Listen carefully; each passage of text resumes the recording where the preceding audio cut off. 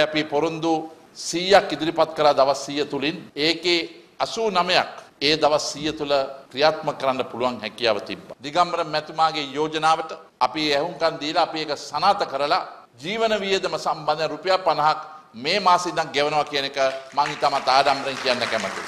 වතුකරය වුණොත් ග්‍රාමය වුණොත් නගර වුණත් ගෙවල් වැඩිපුර අදන මේ ආණ්ඩුව. ඒ වගේ විව- විවිධ සංවර්ධන කරනවා. ඒක අද සමෘද්ධියට ලක්ෂ අය වැඩිපුර මේක ක- ආණ්ඩුව දීලා තිනවා. මේ ආණ්ඩුව විශාල සංවර්ධන කරනවා. ඒක මාකට් කරන්නේ. ඒක තමයි අපිට තියෙන අඩුපාඩු.